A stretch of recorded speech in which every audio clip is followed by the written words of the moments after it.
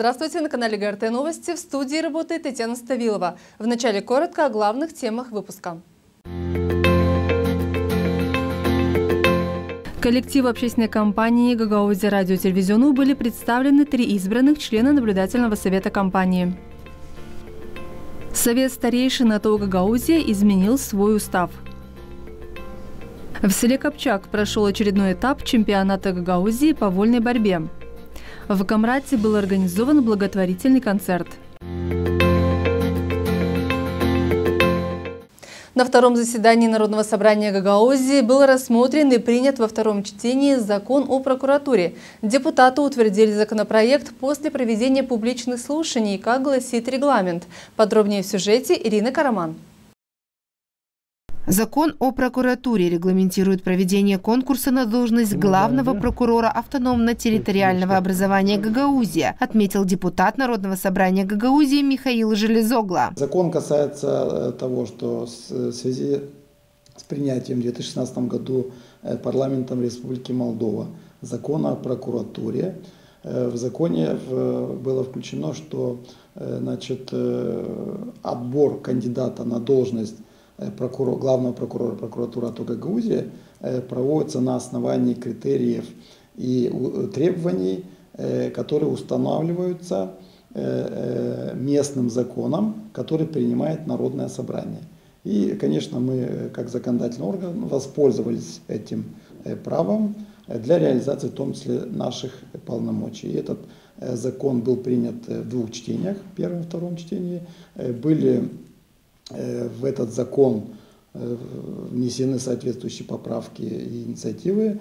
Э, с этой инициативы по этому закону вышли депутаты КСА и Железогла, и, соответственно, депутаты дали свои поправки, и мы включили определенные изменения. Закон принят и направлен Башкану Гагаузии Ирине Влах для промульгации. Второй, связанный с этим же вопросом, повестку дня был включен вопрос Э, о, э, как законодательная инициатива от э, Башкана, ее инициатива была направлена в Народное собрание, чтобы принять проект закона о внесении изменений в республиканский закон о прокуратуре Республики Молдова, который был принят в 2016 году.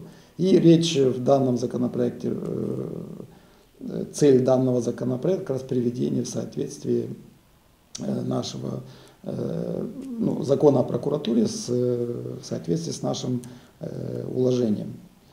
И э, предлагается, чтобы в том числе, чтобы в, в закон о прокуратуре Республики Молдова были внесены изменения, и эта должность звучала как прокурор Э, Гагаузии. Михаил Железогло подчеркнул, что Народное собрание Гагаузии воспользовалось своим правом внесения изменений в закон о прокуратуре согласно статье 73 Конституции Республики Молдова. Ирина Караман, Сергей Георгиев, Артем Топал. Новости ГРТ.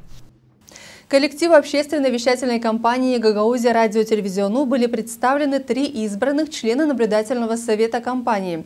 Общественный деятель Михаил Влах, экс-руководитель частной телерадиокомпании города Тараклея Василий Касса и директор муниципального театра Денис Пынтя. Они были избраны Народным собранием Гагаузии 18 марта. Председатель постоянной комиссии по юридическим вопросам, правам человека, законности, правопорядку, информационной политики и СМИ Сергей Захария отметил, что уже наблюдательный совет укомплектован и в дальнейшем может работать на развитие компании. Председатель постоянной комиссии по юридическим вопросам, правам человека, законности, правопорядку, информационной политике и СМИ Сергей Захрия отметил, что наблюдательный совет должен работать на имидж и развитие компании. Э, хочу пожелать э, всему наблюдательному совету плодотворной и успешной работы, конструктивной работы с э, компанией, потому что мы знаем, что есть вопросы, есть, которые нужно рассматривать, рассматривать на уровне наблюдательного совета, на уровне компании и на уровне народного собрания. Э, уже понимаем, что очень скоро будем переходить э, из аналогового телевидения на цифру. Э, необходимо, наверное, вместе с наблюдательным советом об этом подумать. Второе, пожелания были, чтобы мы побольше охватывали регионы, Гагаузии. Члены наблюдательного совета отметили, что необходимо работать над качеством программ. Уважаемые коллеги, кто здесь находится, каждый из вас должен творить историю нашего народа.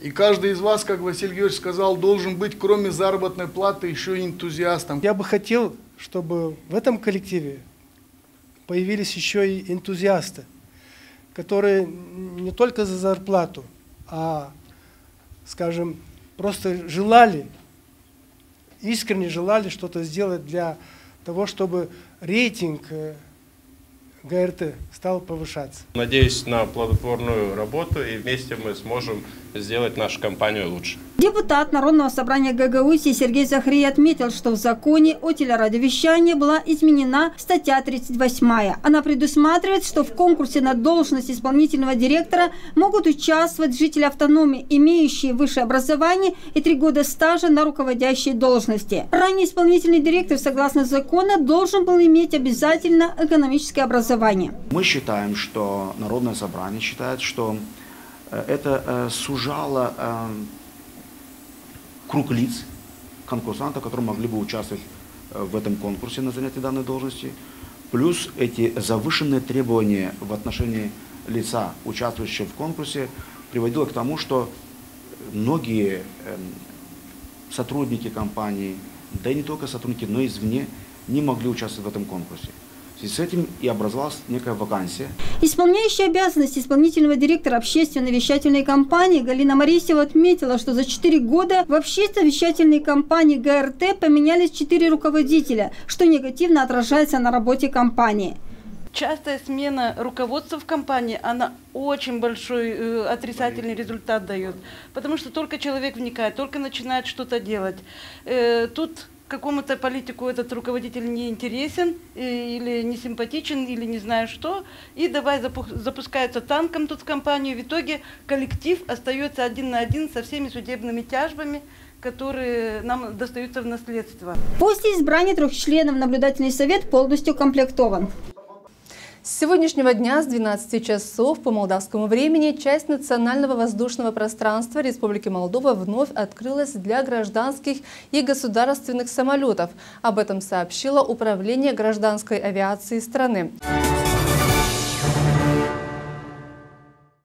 Чрезвычайный полномочный посол Румынии в Республике Молдова Даниил Юанице вручил подарки многодетным семьям. Электронные планшеты получили ученики из нуждающихся семей. По словам дипломата, это знак уважения и укрепления отношений между Румынией и Гагаузией.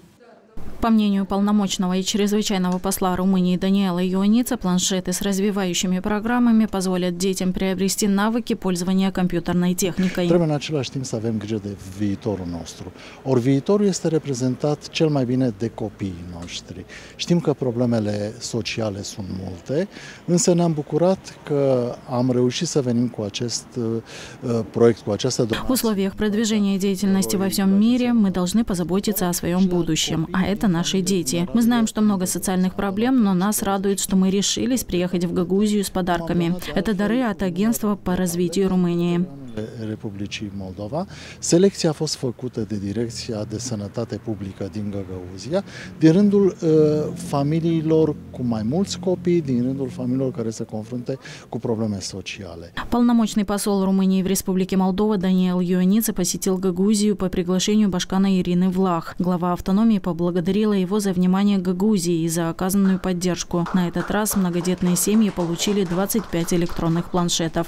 Господин посол приехал к вам с очень хорошим, э, с хорошими подарками. Господин посол решил, э, что э, каждый из вас должен стать лучше, должен стать подготовленнее, должен стать образованным. Так получается, что наша жизнь очень меняется, и сегодня без компьютеров, без планшетов нам очень сложно получать хорошие, качественные знания. Родители и дети поблагодарили за знак уважения высокопоставленных лиц Молдовы и Румынии.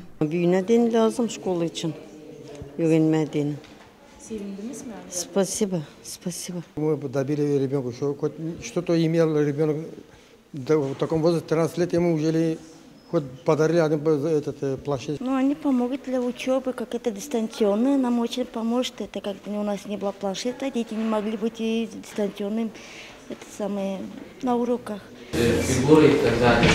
Даниэл Юанице завершает мандат чрезвычайного и полномочного посла Румынии в Молдове в 2022 году. Анна Алтыева, Сергей Георгиев, Артем Топал, ГРТ Новости. В минувшие выходные в Доме культуры муниципия Камрад прошло общее собрание членов Общественной ассоциации «Совет старейшин» АТО «Гагаузия». Был представлен отчет о проделанной работе за 2019-2021 годы. Председатель общественного объединения «Совет старейшин» АТО «Гагаузия» Василий Арнаут отчитался за проделанную работу за последние три года. Он отметил, что роль объединения велика не только на уровне Гагаузии, но и для каждого населенного пункта автономии. Только взаимодействие Взаимодействуя с местными органами власти, можно решать насущные проблемы, подчеркнул Василий Арнаут. Он также отметил, что за этот период была оказана различная помощь людям преклонного возраста. Оказывает существенную помощь пожилым людям и решение самых различных социальных проблем совместно с социальными работниками и примарами населенных пунктов. Последние три года отмечены повышением количества рассмотренных и разрешенных вопросов в деятельности общественного объединения, а также активности работы по всех первичных организациях населенных пунктов Гагаузии. На встрече присутствовали представители исполкома, депутат парламента Иванна Кёксал. У них очень богатый жизненный опыт, и у каждого свой профессиональный опыт, с которым они, несомненно, делятся. Были услышаны и озвучены проблемы из территории, э, Поэтому некоторые взяты на карандаш, некоторые мы решили на месте. Желаю всем крепкого здоровья, мирного неба и процветания этой очень полезной организации для нашей автономии, потому что в Советы старейшин в населенных пунктах работает в упряжке с примариями. И это, э, конечно, способствует э, хорошему, хорошей атмосфере и охватывается больший круг э, людей, которым необходимо внимание были внесены изменения в устав общественного объединения Совета старейшин АТО Гагаузия. У нас был нормальный, хороший руководитель, председатель общественного объединения. Ну а каким он сейчас станет? С новым названием? В новом уставе он записан как администратор. На заседании ассоциации избрали членов совета. В состав объединения войдут семь человек – администратор и ревизор. Также утвердили руководителей филиалов ассоциации. Это собрание очень важное. Почему? Потому что у нас очень трудное положение. Это вот мы изменили устав свой и думаем, этим уставом намного лучше будет работать и легче, и материальное положение будет организации лучше. И собрание удалось провести удачно. Я бы хотела пожелать всем участникам данного собрания крепкого здоровья, не только им, но и всех членов семьи, добра и мира. Как отметил примар села Тамай, у аксакалов можно научиться многому. Обсуждаем ситуацию в селе, ситуацию с состоянием старшего поколения – где мы выявляем те проблемы, которые нужно немедленно вмешаться в примарии как власти. И, естественно, беря это на карандаш, выходя на местный совет, мы находим э, выходы с этих положений. Аксакала на заседании затронули и ситуацию в стране, отметив нехватку медицинских сотрудников, сложную ситуацию в сельском хозяйстве и другие вопросы. Они намерены обратиться к представителям власти региона для решения этих вопросов. Зинаида Канцер, Влад Табачук, ГРТ Новости. С начала года произошло около трех тысяч пожаров растительности. На их локализацию из госбюджета ушло как минимум 2 миллиона лев. Особенно остро эта проблема чувствуется весной, когда жители сел наводят порядок на участках и поджигают траву, а метеоусловия способствуют распространению огня. Экологические инспекторы признают, что им очень сложно выследить тех, кто намеренно поджигает растительность. Всего с начала года наложено только 13 штрафов по остальным делам еще ведется расследование. Взыскания, применяемые за сжигание растительных отходов, составляют для физических лиц максимум 4500 леев, для юридических 15 тысяч леев. При этом сотрудники Главного инспектората чрезвычайных ситуаций констатируют, что за первые три месяца этого года число подобных случаев увеличилось вдвое по сравнению с тем же периодом 2021 года.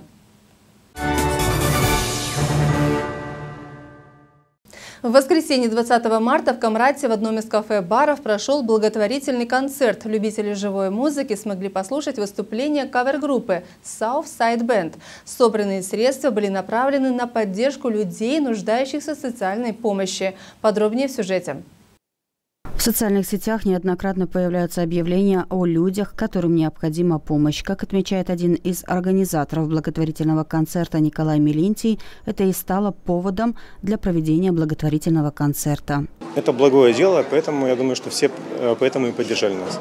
Всех посетителей благотворительного концерта в этот вечер ждал бесплатный горячий напиток от уютного заведения. Давно следим за аккаунтом в соцсетях э, фонда «Рука помощи». Также часто участвуем в акциях данного фонда, поэтому э, этот фонд совершает очень много добрых дел, поэтому мы хотели именно этим мероприятием внести свой какой-то вклад в дальнейшее развитие данного фонда, потому что очень много людей действительно получают помощь, социально уязвимые семьи, старики. Руководитель группы «Рука помощи» Елена Акбаш поблагодарила организаторов благотворительного концерта за оказанную поддержку. Все вырученные средства пойдут э, нашей группе «Рука помощи» для э, покупки продуктов и необходимого старикам, нуждающимся из Гагаузии. Благотворительный концерт с участием кавер-группы Southside Band проходил на протяжении двух часов.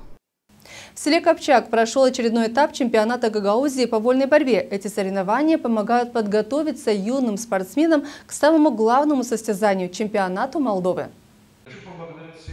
Чемпионате Гагаузии по вольной борьбе среди спортсменов 2009 года и младше приняли участие юные борцы со всей автономии. С каждым годом интерес к вольной борьбе растет. Более 150 участников показали мастерство борьбы в 13 весовых категориях и стремление к победе. В вольной борьбе у нас в Гагаузии занимается около 800 человек. Работает 28 тренеров, 26 тренеров в Гагаузии, только по вольной борьбе. И чтобы детей не кучу, ой, чтобы детей в одну кучу не собирать, мы их собираем и разделили на возраста и вот проводим. Вот сегодня очередное мероприятие. Прошлые соревнования у нас были в э, Кангазе, это Ковчаке, э, у, у 18 будет э, Камрад. Главный судья соревнований Михаил Молла подчеркивает, что чемпионат поможет выявить самых талантливых и сильных борцов для подготовки к чемпионату Молдовы. На сегодняшний день на данном чемпионате Гагаузии участвуют дети э, возраста 2009 года и младше. Э, участников всего 153 из всех населенных пунктов Гагаузии. Мы ограничиваем и делаем внутренний чемпионат Гагаузии для того, чтобы отобрать самых лучших спортсменов, э, выявить самых перспективных и готовиться к чемпионату Молдовы. Юные спортсмены не скрывали своего волнения, но они с радостью приняли участие в чемпионате Гагаузии. Кто-то выиграл, кто-то остался без медалей, но каждый из них получил неоценимый опыт участия в соревнованиях. Я волновался вначале, когда приезжала, потом я в первой схватке выиграл со счетом 12-0, во второй 13-0 проиграл, а в третьей думаю, что выиграю и возьму третье место. Я настроился на победу, э, настроился на первое место, но не получилось. Э, ну, третье место для меня тоже хорошо. Я настроился, конечно, на победу, но первую схватку я проиграл, и сейчас буду бороться за третье место. Э, я думаю, что я победу и получу, в принципе, третье место. Тренеры отметили высокий уровень проведения состязаний. Многократные призеры чемпионатов Европы и Молдовы по вольной борьбе пожелали детям успехов и усердно тренироваться для достижения высоких результатов. Я тоже начинал, как и эти дети, и как зашел в этот зал, вспомнил, как тоже у меня был первый турнир, это чемпионат Гагаузии. Я тогда третье, третье место занял и получил какую-то мотивацию тоже тут у себя в Гагаузии по борьбе. И хотела бы пожелать всем детям э, дальнейших э, успехов в спорте. Сюда отбираются дети лучшие, э, которые э, ходят в троечку, первые, вторые, третьи места. Потом э, некоторых ребят э, отсюда можно отобрать для спортивного лицея, чтобы они продолжили свою спортивную карьеру спортивного лицея. То есть в этом селе э, очень э, часто мы проводим э, турниры, и тут хорошо встречают нас, я имею в виду, хорошая организация турнира. Директор ДЮСШ села Копчак Иван Трандофил отметил, что принимать чемпионат Гагузии по вольной борьбе – большая честь для спортивного комплекса села Копчак. Для нас большая честь принимать в нашем спортивном комплексе, в, наших, в нашем зале чемпионат Гагаузии. Сегодня на чемпионат Гагаузии приехало 153 участника со всей Гагаузии. Это очень хороший и солидный уровень. И все сильнейшие борцы этой возрастной категории у нас присутствуют на этом чемпионате. Победители и призеры были награждены медалями, грамотами, а также денежными премиями. Олег Дулогла, Леонид Афонос, ГРТ. Новости. Ушла из жизни преподаватель русского языка и литературы Камрадской гимназии имени Степана Курогла Вера Николаевна Крыжановская. Она проработала в системе образования более 50 лет. Коллеги и все, кто знал Веру Николаевну, выражают глубокое соболезнование родным и близким в связи с постигшим горем и невосполнимой утратой дорогого и близкого человека. Она всегда готова была прийти на помощь, привлекала к себе неподдельной добротой, вниманием, предприимчивостью и целью целеустремленностью, с заботой о всех своих учениках. Вера Николаевна всегда будет жить в сердцах коллег и учащихся. Ее все любили, уважали, ценили. Светлая память о Вере Николаевне навсегда останется в сердцах всех, кто ее знал. Нашему каналу удалось записать одно из последних интервью с Верой Николаевной Коржановской. Я порою себя ощущаю связной между теми, кто жил и кто отнят войной. Я связная, бреду партизанском лесу, От живых донесения мертвым несу. Нет, ничто не забыто и никто не забыт, Даже тот, кто в безвестной могиле лежит. Всегда мирного неба, здоровья, счастья каждому и памяти, хорошей памяти, доброй. В завершении выпуска о погоде. 22 марта в Гагаузе ожидается ясная погода. Влажность воздуха составит 46%. Атмосферное давление 770 миллиметров ртутного столба. Ветер северо-восточный от 3 до 8 метров в секунду. Температура воздуха. В Камрате ночь составит 4 градуса тепла, днем плюс 12. В Чадарлунге ночью 4 градуса выше нуля, днем воздух прогреется до 11 градусов. В Вулканештах ночью плюс 5, днем 12 градусов тепла.